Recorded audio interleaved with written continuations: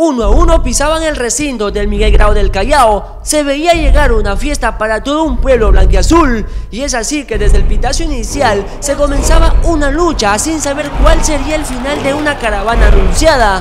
11 guerreros que se propusieron dejar todo en el terreno de juego, pero antes se tenía que vencer un rival decidido a dar pelea como de lugar.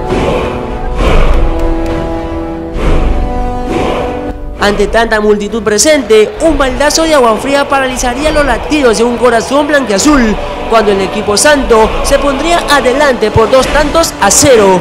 Ya era mucho para un equipo del pueblo. De este modo, culminaría la primera mitad de esta batalla.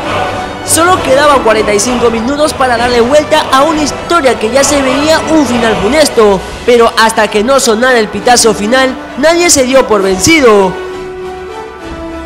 Los méritos que se hacían por revertir esta historia tenía varios caminos cerrados. De cabeza, el portero santo, los palos y las infinitas ocasiones le decían no al tan ansiado Golbrone. Lo que parecía una noche negra pasó a convertirse en una ilusión pintado de los colores de azul y blanco cuando un potente disparo de Koichi Aparicio le devolvió la vida a miles de corazones presentes en el Miguel Grau.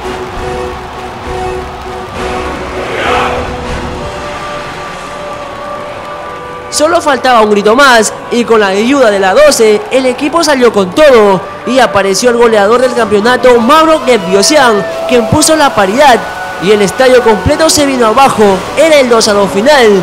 Todo esto indicaría que la fiesta continuaría, pero uno solo podía alzar la copa. Para ello, deberían irse a tiempo suplementario. Ambas escuadras agotados, pero con el corazón de guerrero, nadie bajó los brazos.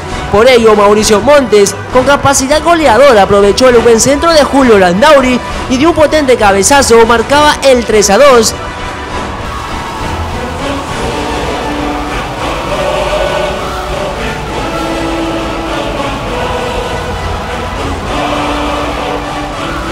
Era una fiesta que nadie paraba de gritar en las cuatro tribunas. Ante todo esto, y con más ganas que con fútbol, San Martín otra vez ponía en suspenso a más de uno.